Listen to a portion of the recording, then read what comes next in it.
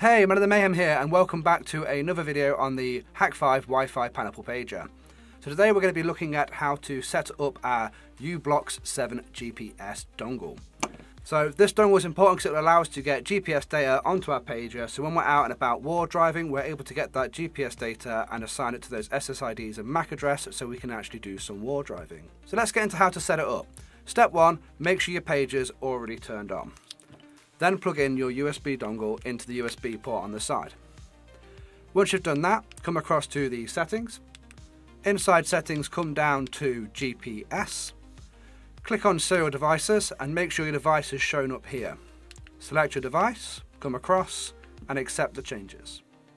We're then going to come down to our baud rate where we're going to then make sure it's on 9600 for this particular device, which it currently is. Come across and accept those changes too. Once we've done that, we're going to come down and restart our GPS services. There we go. Now, the antenna in this particular device isn't very big, so it doesn't work well inside a building, especially if you're inside a building like this one, which is foil lined.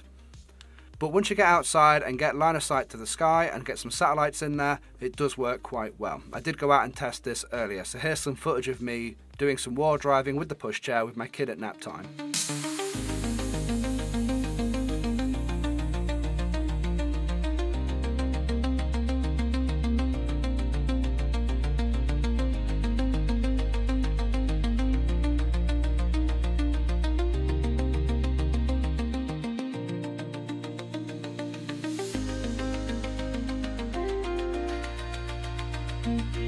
So you'll know your GPS is working because your longitude and latitude here will both update as you are walking round.